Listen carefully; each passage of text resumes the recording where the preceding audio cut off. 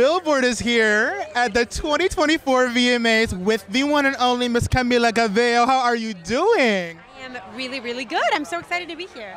You got to walk me through this look. It's giving goth glam. I love it. Talk to me about it. Well, you know, I um, I'm in my Godspeed era, and that song is very much about letting go of everything that does not serve you. So.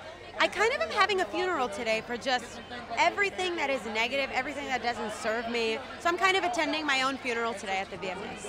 I am It's obsessed. kind of like a fashion story that me and my stylist Katie um, kind of curated. So it's like everything that I'm wearing is black. I've got these kind of crosses to kind of represent Godspeed, and it's kind of this whole energy of just like bye bye, like death to the things that are negative, death to the the, the people and the situations that that try to bring you down, and that's what the song is about, and that's what tonight is about. So it is kind of giving like the VMAs, which is something that usually I don't know, award shows can be very stressful. It's like, well, now it's you know kind of a funeral party. I love it. Now you got to tell me what is on the Get Ready with Camila playlist.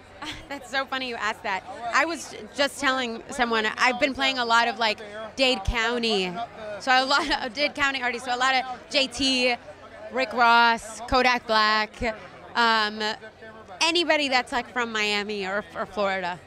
I love it. Always putting on from Miami. Thank you so much for stopping by, Camila. See you in a bit.